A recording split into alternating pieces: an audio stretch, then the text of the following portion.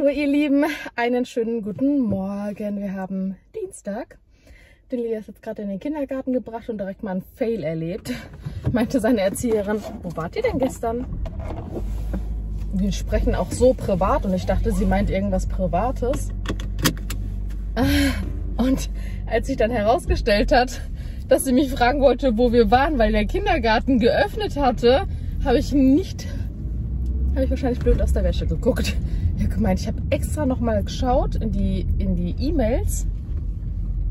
Nicht, dass ich einen falschen Tag aufgeschrieben habe oder sowas. Dann habe ich ja nochmal in die E-Mail geschaut und es war tatsächlich für gestern halt eben pädagogischer Tag. Und sie meinte, ja, das war auch ursprünglich so. Es wäre aber noch irgendwie eine Mail gekommen, wo dann halt ein neuer Termin genannt wurde. Bail. Was soll ich euch sagen? Naja, egal. Batterie ist halt mein Tag zu Hause. Beziehungsweise wir waren ja eigentlich die ganze Zeit unterwegs. Also, ja. Ähm, jetzt fahre ich mal kurz in den Lidl, weil ein paar Sachen leer gegangen sind und so ein paar Brötchen holen. Dann fahre ich wieder nach Hause. Heute soll es ja so ein bewölkter, teilweise regnerischer Tag werden. Deswegen, sowas motiviert mich dann immer, mal richtig in die Tasten zu hauen. Ähm, ja, ich habe mich gestern ja auch gar nicht mehr gemeldet. Wann habe ich mich das letzte Mal gemeldet? Also wir sind ja nach Frankfurt gefahren und dann sind wir, ähm, hat mir meine Mutter dort getroffen. Die ist eigentlich nur mit uns in den Woolworth gegangen. Dann waren wir im Woolworth gewesen oder Woolworth, wie auch immer. Ihr wisst, was ich meine. Und ähm, das war der totale Fail. Weil, also erstens diese Kerzenständer, die ich in Bad Homburg gesehen hatte, die gab es dort nicht. Obwohl der viel größer ist und eigentlich, wenn ich dort gewesen bin, hatte ich immer das Gefühl so, oh mein Gott, ich will den Laden leer kaufen. Und dieses Gefühl hatte ich gestern einfach gar nicht. Also so wirklich gar nicht. Die Sachen haben mir irgendwie gar nicht gefallen. Ich habe also wirklich nicht eine einzige Sache mitgenommen. Weder privat noch für die Hochzeit. Also kompletter, kompletter Fail. Ähm, dann wollten wir neben, also gegenüber gibt es so einen großen Eissalon. Und der hatte die ganzen Stühle draußen aufgebaut, aber die Stühle waren so angekettet, dass man sie halt nicht klauen kann. Und haben uns schon gedacht, so, hä, wieso sind die denn aufgebaut, aber trotzdem angekettet, so dass man sie nicht ziehen kann, sich hinsetzen kann. Dann hatten wir an der Eistheke gefragt, ja, ob man sich denn nicht hinsetzen darf. Und die meinten so, nee. Also ganz, ganz komisch. Ähm, ja, weil ich hatte vorgehabt, dass wir uns hinsetzen und noch mal kurz quatschen, weil meine Mutter ja heute Morgen äh, zur Kur gefahren ist. Und ja, die Möglichkeit hatten wir dann nicht, also sind wir dann noch mal weitergelaufen. Meine Mutter ist dann aber auch losgefahren, äh, weil sie musste heute Nacht irgendwie um drei Uhr oder sowas aufstehen. Genau, meine Schwester und ich sind dann nochmal bei Ernst Nix Family rein. Da habe ich drei dieser Kerzenhalter gekauft, die ich gestern gesehen habe. Die hatten nur drei. Online kann man 15 bestellen. Ähm, das werde ich jetzt gleich machen, weil das ist ein Zweierpack. Das heißt, ich habe dann 33 und dann werde ich nochmal ein, zwei Stück irgendwo besorgen oder nochmal einen Schwung online bestellen, keine Ahnung.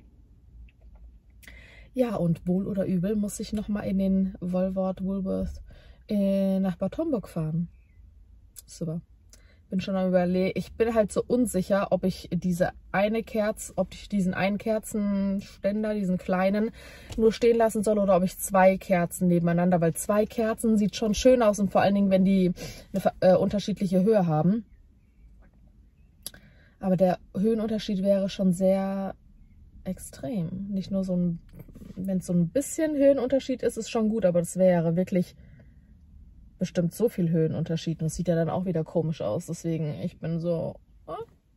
Ich habe aber, ich, meine Nerven sind langsam so, ich habe keine Lust mehr zu suchen. Ich weiß nicht, wie viele Tage, wie viele Stunden ich mittlerweile daran verbracht habe, nur wegen diesem Kerzenständer. Das macht mich irre. Katastrophe. Ich war schon kurz davor äh, zu sagen, ich kaufe es einfach und äh, äh, behalte die dann, also nimm die sozusagen auf meine Kappe. Katastrophe. Naja, egal. Ähm, das ist etwas, worum ich mich heute auch wieder kümmere. Aber ich war heute nirgendwo hin. Also ich gucke nochmal online, ob da irgendwie eine Lösung ist. Und oh Gott.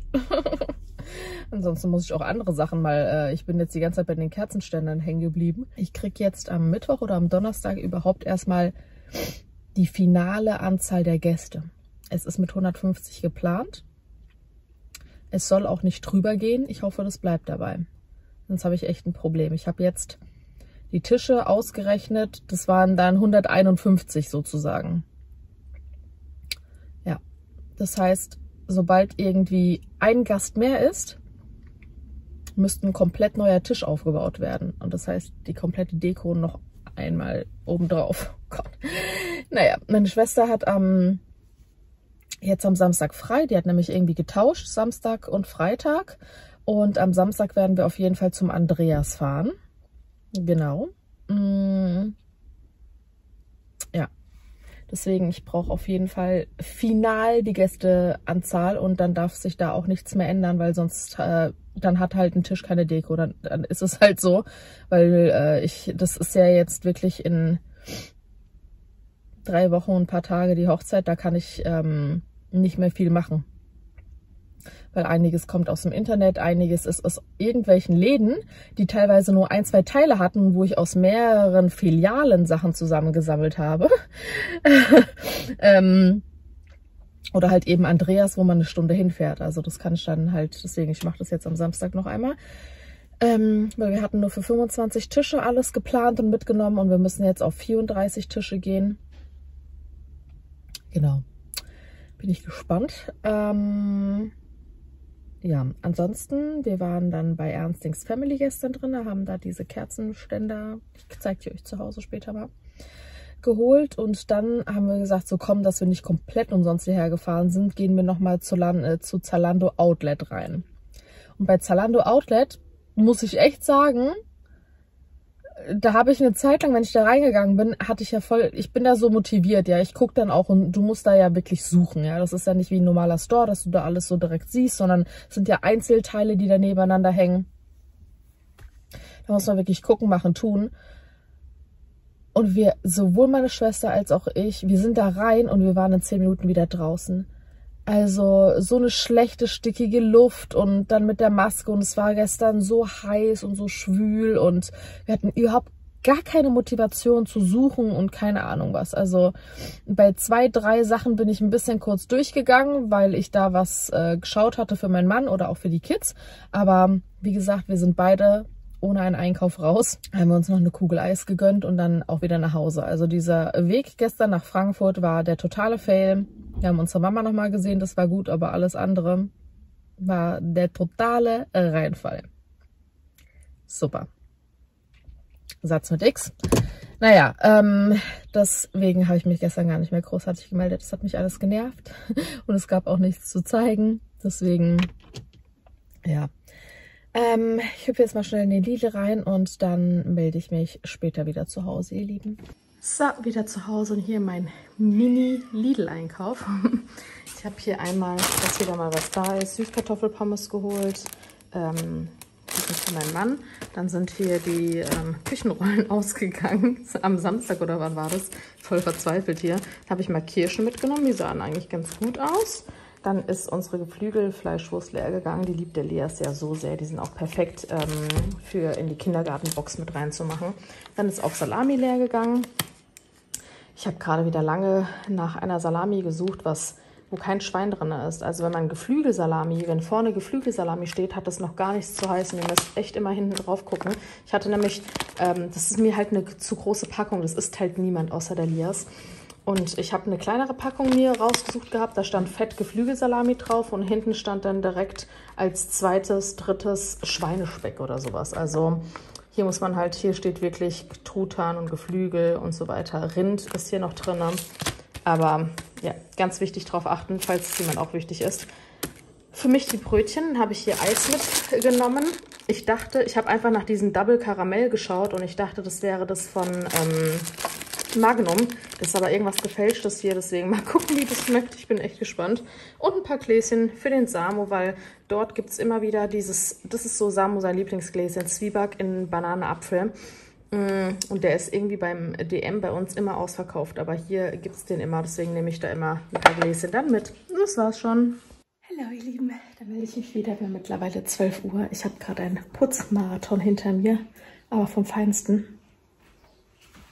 Habe hier gerade das kleine Badezimmer nochmal richtig geputzt. Ähm, ich hatte nämlich letztens nur den ähm, Waschbecken gemacht, also Armatur, aber ich hatte Spiegel und Spiegel vor allen Dingen im äh, Flur, Katastrophe. Und was ich gemacht habe, hier steht auch noch der Staubsauger. Ich habe hier, letztens hat irgendjemand gefragt, ob wir unsere Miami noch haben. Ja. Ich habe hier die Mülleimer einmal komplett rausgeholt und die kompletten Flaschen rausgeholt, weil ich habe heute Morgen, das darf man gar nicht sagen, ist eigentlich voll eklig, aber ich habe hier so ein Vieh entdeckt. Das war aber keine Made. Ich weiß nicht genau, was es war, ehrlich gesagt. Und deswegen bin ich dann einmal die kompletten Schränke, Fächer und so durchgegangen und es war alles in Ordnung gewesen. Ich habe sogar den Kühlschrank nach vorne gerutscht. Also ich habe wirklich viel gerade geputzt. Ich habe den Kühlschrank nach vorne gerutscht, um da drunter mal richtig zu saugen und zu putzen und so weiter. Auf jeden Fall ist diese Schublade der Übeltäter. Da habe ich nämlich, ich glaube, fünf, sechs von diesen Viechern gefunden oder sogar mehr. Ich glaube, es waren sogar noch mehr Leute richtig eklig. Ich weiß, ich weiß, ich weiß. So, das ist mir in der alten Wohnung auch ein, zwei Mal passiert. Da waren die aber bei Lebensmitteln ähm, da, wo so Mehl und solche Geschichten sind, da habe ich die mal gefunden. Aber das waren auch so kleine. Die waren jetzt so ein bisschen größer. Die waren bestimmt so einen halben Zentimeter, Zentimeter lang. Also wie so Raupen sahen die aus. Keine Ahnung. Ich habe jetzt auf jeden Fall alles einmal rausgeholt, alles abgesaugt, dann alles abgewischt den, und alles, was ich benutzt habe, sogar den Lappen, ich habe alles weggeschmissen. Alles, was in Plastik war, habe ich weggeschmissen. Die waren nämlich echte da drin gewesen. Ähm, wir hatten zum Beispiel eine äh, Kartonbox, wo unsere ganzen Spülmaschinen-Tabs drin waren. Aber die Tabs sind einzeln nochmal in so Folie verpackt. Oh, mich juckt es jetzt schon, wenn ich dran denke. Also da war echt alles Mögliche. Ich hatte auch so, das ist jetzt ein neues von oben, aber solche Sachen, wo dann halt neue... Ähm, hier so ein Schwamm hatte ich zum Beispiel noch gehabt. Da habe ich auch eins drin gesehen. Ich habe alles weggeschmissen. Ich habe echt alles weggeschmissen. Und als ich dann damit fertig war, alles, ich bin direkt zum Mülleimer und habe alles weggebracht. Alles weggeschmissen. Dann habe ich, wie gesagt, alles abgesaugt, alles abgewischt. Danach habe ich Sakrotan drauf gesprüht, als ob ich hier irgendwie, keine Ahnung, wen vergiften würde. Ich konnte halt nicht mehr atmen. Ich habe hier alle Fenster, auch die Haustür, ich habe alles aufgerissen. Der Samus aber am Schlafen, der hat davon nichts mitbekommen. Ähm, genau, und dann habe ich auch die ganzen Flaschen wirklich untersucht und abgewischt und auch die sogar eingesprüht. Beziehungsweise ich habe teilweise solche, ähm, ich habe so Tücher, die, also so Sakrotantücher. Genau. Ich hoffe, jetzt ist alles sauber. Genau, ich habe halt auch in die anderen Schränke geschaut und Sachen zur Seite gerutscht, um zu gucken. Ich habe nirgends was gefunden. Es war ausschließlich in dieser Schublade. Ja. Und jetzt habe ich gerade auch die ähm, Box, zum Beispiel, wo unsere Spülmaschinen-Tabs drin sind, weggeschmissen. Da waren locker noch 50 Stück drin. Ich habe alles weggeschmissen. Ich wollte nicht, dass, irgend, dass ich irgendwas übersehe oder so. Deswegen, ja, ich habe gerade so einen kleinen, wie gesagt, Putzmarathon hinter mir. Ja, jetzt haben wir 12 Uhr und ich habe mich jetzt gerade dafür entschieden, dass ich jetzt mal schnell zum Action gehe, weil ich brauche hier noch ein paar Sachen, ähm, um, ja, weil ich habe ja alles für 25 Tische gekauft. Ich muss noch ein bisschen was ähm, kaufen. So, ich wollte euch das hier auch mal zeigen. Das ist das, was ich gemeint habe, was ich auf die Tische stellen möchte. Also es ist jetzt nicht der absolute Hit. Ich finde es persönlich aber schön. Also mir gefällt das. Ich finde es ganz cool, weil hier auf der Seite kann man ein Teelicht reinstellen. Und wenn man das Ganze dann umdreht, kann man eine so eine langstielige Kerze reinstellen. Und die gab es halt in verschiedenen Farben. Und das ist halt einfach dieses Clear Kristall. Und das finde ich eigentlich echt schön. Also ich werde zu denen auch sagen, weil wir haben ja dann ähm, ja, 35 Stück. Ich werde auch sagen, ich werde ein paar sozusagen denen abnehmen, dass sie da nicht irgendwie 35 Stück dann zu Hause haben. Ich werde ein paar abnehmen, weil ich finde, mit denen kann man echt viel machen. Wenn man die draußen hinstellt und Teelichter macht, kann man das schön sich abends machen oder generell, wenn irgendwelche Feiern sind, ein paar Stück davon, weil die sind natürlich leichter zu verstauen als irgendwelche ähm, hohen Sachen. Ähm, die finde ich ganz cool. Und vor allen Dingen, ich habe ja schon gesagt, es ist ja alles in diesem ähm, beige und weiß und wir haben ja dann auch nebendran, wir haben ja auch noch, äh, habe ich euch ja gezeigt, die kleinen für die Teelichter und dann auch noch die Vase, die ist ja auch aus also durchsichtigem Glas, ohne dass da irgendwie eine Farbe oder sowas mit beisteht, äh, mit bei ist. Deswegen, das passt halt eben auch zum Look. genau. Ja, am liebsten hätte ich sowas gehabt. Das zeige ich euch mal. Das ist jetzt eben für den Tisch. Schaut mal. ist jetzt natürlich auch Geschmackssache, aber ähm, hier möchte ich noch so mit äh, Trockenblumen, Pampasgras und so weiter arbeiten. Und ich finde, es passt halt einfach, weil es nicht so, es ist nicht so pompös, also wie so einen richtigen Ker ich dachte erst an so einen richtigen Kerzenleuchter. Ich finde, der hat aber zu diesem Boho-Style nicht so hundertprozentig gepasst. Ähm, und die waren halt teilweise auch sehr teuer. Der hier war jetzt auch relativ teuer. Der hat, ich glaube, 37 Euro oder so gekostet. Ich habe zwei davon bestellt, dass ich links und rechts was aufstellen kann. Bei dem anderen sind aber keine Schrauben mit dabei. Das musste man unten so dran schrauben und dann ist hier so ein rutschfestes Ding, was man draufkleben kann. Ähm, genau, deswegen der zweite liegt da noch, aber wie gesagt, keine Schrauben da. Und ich finde die echt schön. Also mir persönlich gefällt das sehr, sehr gut. Ähm, da kann man viel draus machen. Es ist halt modern, das kann man dann auch für die Wohnung nutzen, sich hinzustellen. Und ähm, genau, es ist halt nicht so total Hochzeit, Hochzeit, Hochzeit und sonst nichts. Ähm, und ich finde, das wird auf jeden Fall zu der Deko passen. Genau.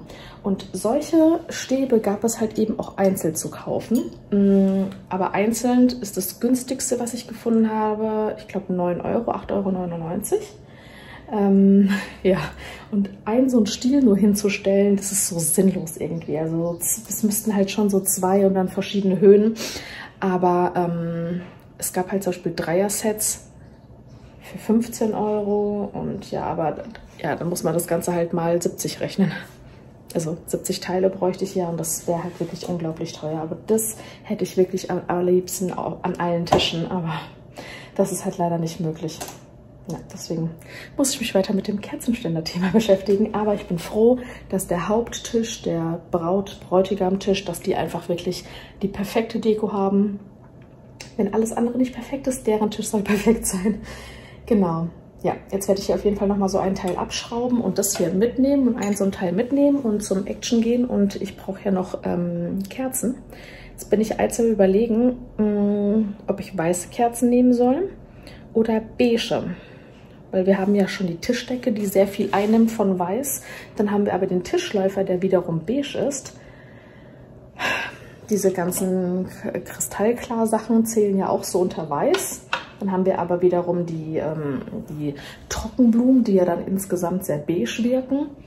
Jetzt weiß ich echt nicht. Also ich glaube, dass ich hier eher... Oh, ich weiß es nicht. Ich weiß nicht natürlich auch, wie das hier mit beige aussieht. Ich glaube hier lieber weiß und vielleicht hier beige oder dann doch alles weiß. Bin, also da bin ich jetzt voll unentschlossen, ob beige oder weiß. Keine Ahnung. Ich habe auch das Gefühl, so Klar, weiß geht immer, aber beige sieht vielleicht auch ein bisschen noch mal ein bisschen hochwertiger aus, so eine Farbe. Keine Ahnung, muss ich mir gleich mal vor Ort angucken, was ich da für welche finde. Ähm, genau, ja, das ist eigentlich auch das Einzige, was bisher jetzt ähm, angekommen ist. Ich würde sagen, ich mache mich mal auf den Weg. So, jetzt zeige ich euch mal ein paar Sachen. Ich habe hier einiges eingekauft. Und das sind die Kerzen, für die ich mich entschieden habe. Die fand ich einfach so schön. Die sind nämlich nicht pur weiß oder so ein richtiges Beige. Das ist so ein...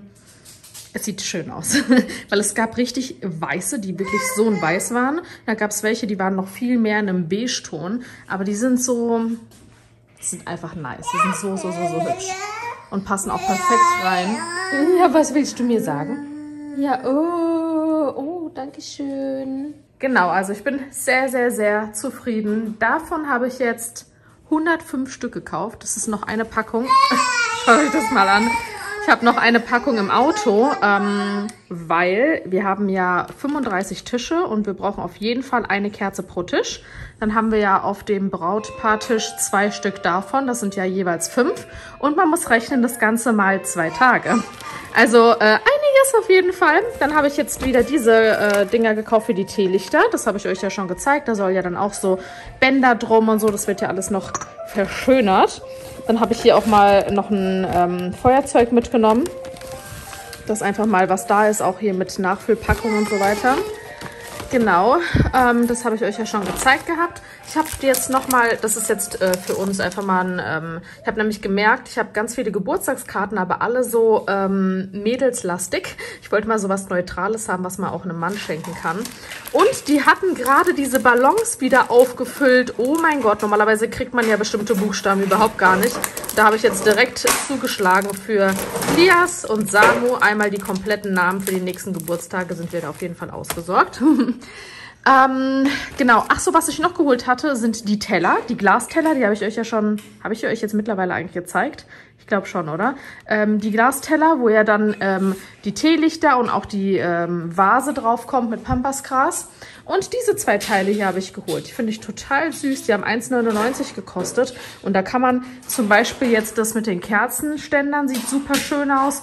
Oder auch vielleicht sogar diesen durchsichtigen Teller da drauf zu stellen. Oder, oder, oder. Ich habe zwei Stück geholt. Das soll wirklich nur für Brautpaartisch sein. Für 1,99. Das konnte ich jetzt nicht für ähm, die kompletten Tische holen. Aber ansonsten finde ich echt richtig schön. Und das war, was ich euch jetzt alles gezeigt habe vom Action. Achso, für uns habe ich noch eine Glühbirne mitgenommen. Genau, also alles, was ich euch gerade gezeigt habe von Action. Das Einzige, was oberätzend ist, ist die Tatsache, dass jede einzelne Kerze hier natürlich so ein Etikett dran hat und ich bin gerade dabei äh, oder beziehungsweise habe die fünf jetzt mal abgemacht hier mit einer Pinzette, weil mit Nägeln funktioniert das alles nicht, es reißt komplett ein. Das heißt, es wird eine ganze Zeit lang dauern, diese Kerzen einmal komplett von diesen scheiß Etiketten zu befreien. Unglaublich, oder? Die haben übrigens ähm, 49, nee, 45 Cent gekostet, also richtig genial. Die sind auch super günstig, kann man echt nichts sagen. Ähm, für die Masse natürlich wieder extrem, aber die sind echt schön. Also gefallen mir total. Die sind hier in so einer Kiste. Ich habe die ganzen Kisten, die sie dort hatten, mitgenommen. Drei Stück gab es eben, wie gesagt. Beim Kick war ich noch gewesen. Da habe ich mal zwei kurze Hosen mitgenommen, weil wir haben definitiv zu wenige für den äh, Samu. Einmal diese Dino-Hose hier für 4,99 und für 3,99 diese hier. Ja, Schätzi, mit Löwen drauf. Genau. Ich bin richtig happy. Ich glaube, das mache ich, das werde ich so dekorieren, weil das hier in Kombination, das gefällt mir sehr, sehr gut. Jetzt muss ich nur mal den Verkäufer anschreiben, ähm, wegen dem Kerzenständer, weil bei dem anderen ja die Schrauben fehlen. Ob ich das komplette Teil zurückschicken muss oder ob der mir die Schrauben nachschickt. I don't know. Ja. Boah, ich bin völlig gaga. Ich bin richtig, richtig müde, weil ich bin ja aufgestanden. Dann hatten wir heute Morgen übrigens ähm, Handwerker da gehabt, unsere Soft Close, nie wieder, Schiebetür. Die hat mal wieder gezickt und die ist gar nicht mehr zugegangen, also richtig schlimm. Das ist ja jetzt mittlerweile das dritte oder vierte Mal, dass wir die reparieren lassen. Also die ist super duper empfindlich. Die ist wunderschön, dass man die aufmachen kann. Man hat halt wirklich eine große, breite Tür, wo man rein und rauslaufen kann. Oder auch, ähm, dass man halt keine Tür hat, die dann einem Weg steht, wenn man sie auf und zu macht, sondern die halt so zur Seite geschoben wird. Also wirklich ganz, ganz toll. Aber die ist so empfindlich, nervig. Also wir würden die nie wieder nehmen, obwohl wir sie lieben. Sie ist echt toll, aber die hat auch jede Menge Geld gekostet und dafür ist es echt ärgerlich. Aber naja, ist jetzt schon, keine Ahnung, das wievielte Mal repariert äh, worden. Wir haben Gott sei Dank noch, also wir haben ja auf dieses Haus ähm, sieben Jahre Garantie. Achtung, Samu, du machst es kaputt. Zumachen. Ähm, auf sowas wie jetzt zum Beispiel auch die Fenster oder diese Schiebetür gilt halt eben diese Garantie. Das ist unser Glück. Aber ich glaube, nach sieben Jahren, wenn die dann immer noch ständig kaputt geht, äh, kaputt geht, das lohnt sich überhaupt gar nicht. Das ist unendlich teuer, die dann immer reparieren zu lassen. Ja, da lohnt sich eher, die komplette Wand einmal rauszuschlagen und eine neue Tür einzubauen. Also, strange. Naja, ähm, das war heute Morgen, genau, und habe dann Lias ja dann in den Kindergarten gebracht. War beim Lidl einkaufen, dann bin ich nach Hause, habe hier zusammen mit Samu gefrühstückt und nach dem Frühstück habe ich mich direkt an diese Küchengeschichte hier gemacht mit äh, wirklich extrem Reinigung. Und als ich damit nämlich fertig war, habe ich ja kurz mit euch gequatscht und als ich mit euch fertig gequatscht habe, bin ich ja direkt los zum ähm, Action und zum ähm, Kick es hat lange gedauert. Ich war gute anderthalb Stunden ungefähr unterwegs, weil ich habe echt lange, ich habe auch gewartet, bis die mir noch mehr Kerzen aus dem Lager geholt hatten und und und. Also es hat echt alles lange gedauert. Und als ich zurückkam, habe ich mir jetzt gerade von gestern, war noch ein Stück Pizza übrig. Die anderen Stücke hatte der Lias und meine Schwester gestern gegessen. Habe ich dieses eine Stück Pizza gegessen und ich habe trotzdem äh, echt überhaupt keinen Hunger. Zwischenzeitlich ist der Samo dann auch wach geworden. Ja, mein Knazi. Und jetzt hatte ich kurz mit meiner Schwester und meinem Mann gequatscht und jetzt mit euch und irgendwie der Tag geht so rum. Wir müssen jetzt auch gleich los, weil der Lias muss heute um 3 Uhr abgeholt werden. Wir holen ihn meistens so gegen 3.30 Uhr ab. Gerade wenn es so Wetter wie heute ist, es regnet immer mal wieder, ähm, hat er wenigstens schöne Beschäftigung im Kindergarten. Aber eine Erzieherin ist krank, deswegen ähm, sind die unterbesetzt und deswegen holen wir ihn heute schon um 3 Uhr ab. Ja. Ja. Können gleich losgehen, deinen Bruder abholen. Ja. So schaut's aus. Der Tag geht rum wie im Flug. Ich habe zwischendurch immer mal wieder auf meine E-Mails geschaut, aber ich habe noch keinen Vlog geschnitten. Ich habe noch nichts eigentlich gemacht. Läuft bei mir. Läuft bei mir nicht.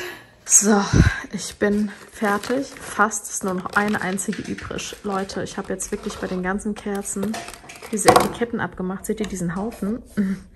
Höher als meine Hand und auch richtig dick. Und was ich noch gemacht habe ist, ihr seht es ja, die Kerzen sehen jetzt alle schön aus. Oben sahen die alle so aus. Alles abgefummelt, schaut mal.